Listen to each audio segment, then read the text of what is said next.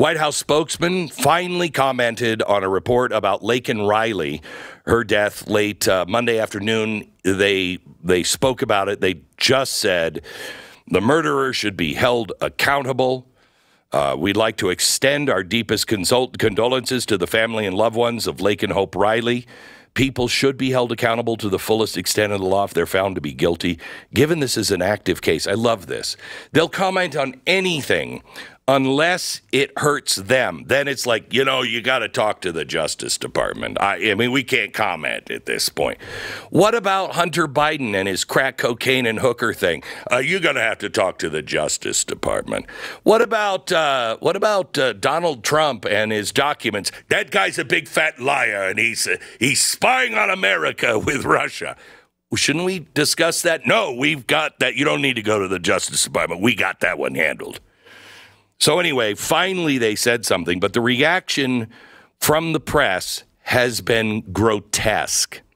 CNN reported yesterday, in case you don't know, um, Laken Riley, she was jogging. She was a university student in Georgia. She's jogging in the morning and she's brutally killed. Um, and what a surprise, it was an illegal alien, and this time from Venezuela.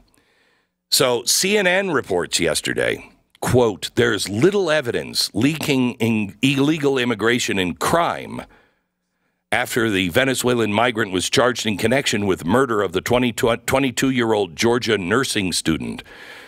Uh, found dead Thursday, University of Georgia campus.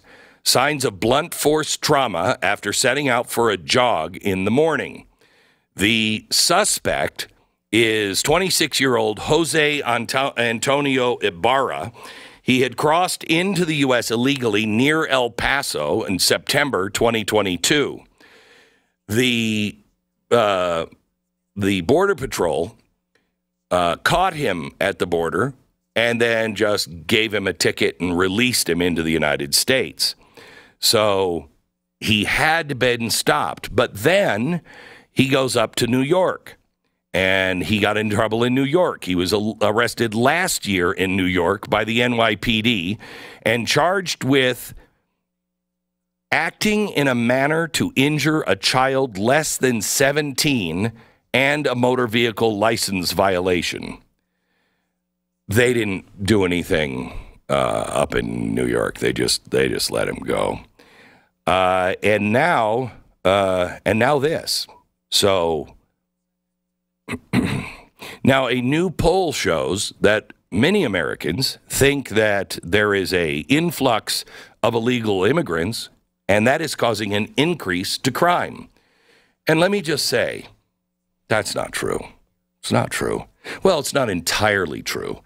It is the administration's uh, new regulations and guidelines that are letting all of these people in we're having all of these problems because of the new guidelines. And then on top of that, we also have new guidelines issued by all of these district attorneys all over the country that were hired by none other than uh, George Soros. Good. So we got that going for us. That's what's causing crime. We're not enforcing our laws at the border, and then we're not enforcing our laws in our cities. Our government isn't enforcing the law. Our DAs aren't enforcing the law. And that's why you have criminals going crazy because they know I don't, I'm not going to be charged with it. I'm going to be let go. It's not a problem. So yesterday, Biden uh, was taken on by Donald Trump. He uh, said, "This is this is the problem with the Biden administration and our border," and everybody went crazy. By the way, he was charged with malice murder, felony murder, aggravated battery, aggravated assault, false imprisonment, kidnapping, and hindering a 911 call and concealing the death of another. I don't know. Um, that seems pretty serious. So they uh, are not letting him go this time. The reason why they let him go last time in New York City is because New York City is a sanctuary city. Hmm. By the way, his brother also charged on Friday uh, for possessing a fraudulent green card, being held in state custody now. Uh, the federal arrest affidavit for Diego, the brother who killed the girl, uh, says that in September 23, Athens Clarke County Police charged him with drunken driving and driving without a license. Oh, so he just did it in New York and then came down to Georgia. Uh, oh, and he was also later arrested for shoplifting and then skipping out on anything having to do with showing up for court. A majority of Americans now say that uh, a border wall has to be done. This is the first time since the history of polls that a majority of Americans say, border wall, please. Trump says, I'm going to have a massive deportation. He said it's going to be the largest deportation if I'm elected. Massive deportation. Uh, it'll be the biggest in uh, in history. Okay, well, how do people feel about that? Well, I don't know, but I'll tell you how the Washington Post feels about it. After hundreds of thousands of Mexican migrants were put on buses, planes, and boats during the scorching summer of 1954 and sent across the U.S. border into often unfamiliar parts of Mexico, the head of the Immigration and Naturalization Service declared the border secured. It was the so called wetback problem. But the military style campaign, which used the same slur in its name, Operation Wetback, tore families apart, forcibly uprooted people in the name of securing the border, experts say. And sometimes those efforts turned deadly. Now, first of all, can I just ask why it was a smear in 1950 to uh, call this Operation Wetback? That, that's before it became a slur. Operation Wetback was called that because the people that were being deported were the people that crossed the Rio Grande and swam across or came across, and they were wet when they got out. Now it's uh, now it's a slur, but it wasn't in the 1950s. Now, former President Donald Trump is using the Eisenhower era operation as a blueprint for his vision. It will be the largest domestic deportation operation in American history. It will remove 10.5 million undocumented people in the United States, of whom two thirds have lived in this country for more than a decade. Now, wait a minute. Hold on just a second.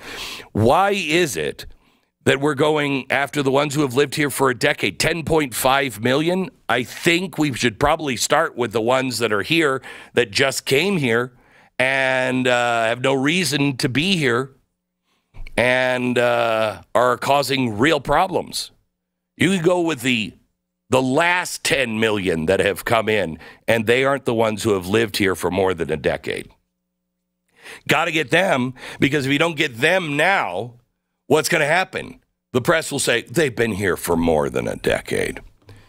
Americans can expect, this is Donald Trump, Americans can expect that immediately upon President Trump's return to the Oval Office, he will restore all of his prior policies, implement brand new crackdowns that will send shockwaves to all the world's criminal smugglers, and marshal every federal and state power necessary to institute the deportation operation. That's a spokesperson from him yesterday. Undocumented illegal immigrants should not get comfortable because very soon they'll be going home. Now, that's what the Trump people said yesterday. The Post is saying that's horrible you watch the number of people coming across the border, the more this is publicized, what he's saying, the number of illegals coming across our border will go down. Why? Because what the president says matters. When Joe Biden said, No, I'm not encouraging people, I'm not at all. Yes, he was. Is Donald Trump discouraging people? Yes, he is. Is that a good thing? Yes, it is. But when describing the operation on what Trump's plan is built, says the Washington Post, experts commonly land on the same word. What's that word, Stu? What do you think it is? What do you think it is? Experts. All the experts are saying the same word. Hmm. Gosh, there's so many that pop to mind, but uh, I don't know what is inhumane. Inhumane. It's inhumane. Oh gosh. It's inhumane. Yeah, just inhumane. I'm wondering if they're talking to any experts that uh, agree with, you know, border policies that secure the border. I wonder. When Trump harkens back to that, I think we've got to be really clear about what kind of a law enforcement campaign he is threatening to unleash. Says uh, Lytle Hernandez, who holds the uh, Thomas E. Lifka Endowed Chair, History of UCLA. It's not just mass deportation, it's mass racial banishment. No, no. Um, if you're coming in from Russia, I want you out. If you're, I mean, if you're doing it illegally, if you're coming in from China, I want you out. Uh, you're coming in from Sweden, I want you out. England, I want you out. If you're coming from Iran, I really want you out. You're coming from uh, hostile countries, bye bye. If you're coming here just because you're a family trying to better themselves, go through the front door. And you know what? Bring your family instead of just sending your 20 year old son. Hmm, I, I just think, you know, we got enough of angry 20 year olds on our own. We don't need any more. If you'd like one, if you'd like to take an angry teenager, I will gladly invite you to house one of my children. You can house them, see what happens with that one. If that's what you're really looking for, I can help you in that department.